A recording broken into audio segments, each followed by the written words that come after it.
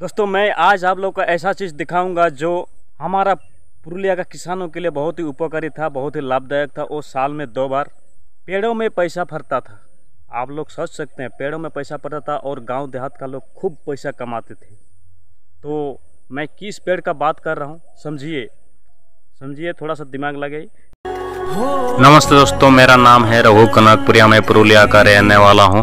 पुरुलिया का संस्कृति दिखाने के लिए मैं हिंदी में ब्लॉग बनाता हूँ। चैनल को ज़रूर सब्सक्राइब करना। पुरुलिया का सभी संस्कृति दिखाने की कोशिश करूँगा। जी हाँ दोस्तों, मैं परास परास पेड़ का बात कर रहा हूँ।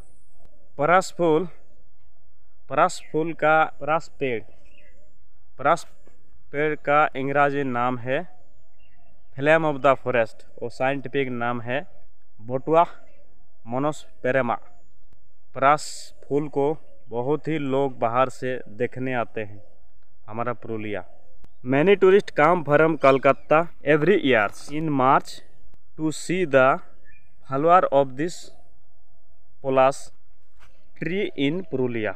Palash flower blooms throughout month of March.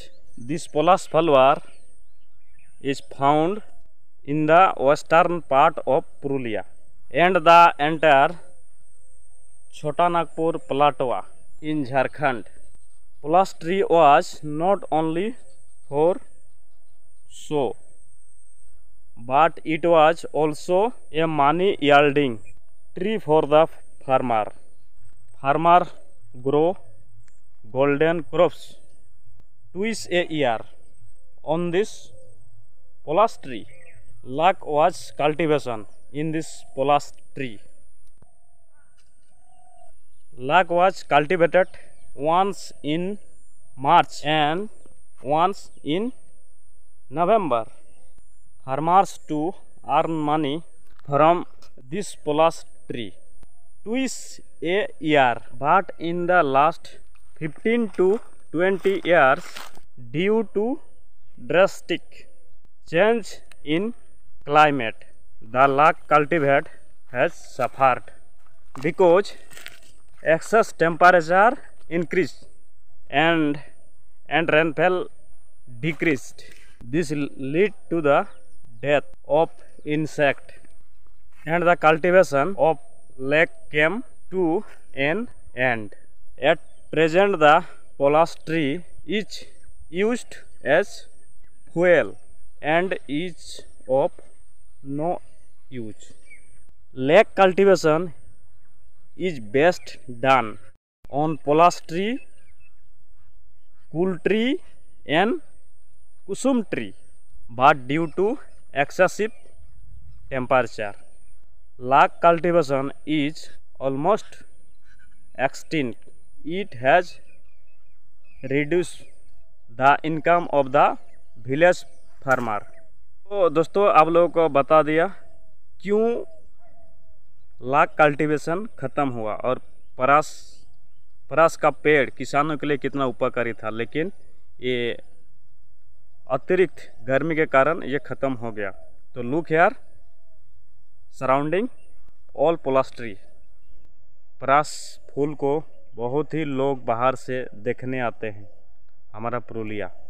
परास का पेड़ आजकल सिर्फ़ दो ही काम में आता है। एक, खाना बनाने में जलाया जाता है, मैंने जलाने के रूप में, और दूसरा, जंगल में अच्छा दिखता है। लेकिन दोस्तों, ये पहले ऐसा नहीं था, ये पहले किसानों का ये एक लाभदायक पेड़ था। इसमें साल में दो बार ला का खेती किया जाता, लाख कल्टिवेशन लाख कल्टिवेशन किया जाता था, और किसान लोग बहुत ही पैसा कमाते थे इस पलास पेड़ों से। अर्ज़ पैसा अर्जित करते थे ये प- परास पेड़ों से। लखा यानी लाहा। इनका अंग्रेज़ी नाम है लाहा का इंग्लिश नाम है कोकास लक्का या गला भी कहा जाता है। लाहा या गला कहा जाता है। इसे क्या क्या बनता है? देख लीजिए। वार्निश यानी पॉलिश जो किया जाता है वो सब बनता है। और और फर्नीचर भी बनता है गोल्डन का चेन, उसमें अंदर में भराट बनता है। और च्युइंगम चॉकलेट बनता है और कैप्सूल का कोटिंग बनता है। दवा जो कैप्सूल है, उसका कोटिंग बनता डोल बन, रेलवे इक्विपमेंट और आर्म्स का इक्विपमेंट बनता है। लेकिन अतिरिक्त क्लाइमेट चेंज होने के कारण टेम्परेचर बढ़ गया मतलब तापमात्रा बढ़ गया, माना धूप धूप बढ़ गया अतिरिक्त और बारिश कम हो गया। इसी चलते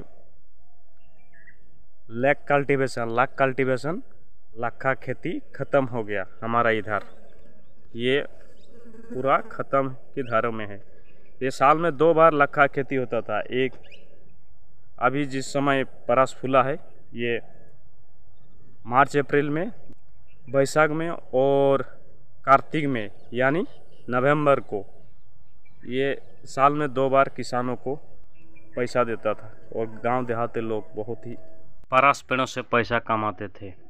Good bye. तो दोस्तों, वीडियो का यही ख़त्म करते हैं। वीडियो को ज़्यादा से ज़्यादा लाइक और सब्सक्राइब करें। जय हिंद, जय भारत।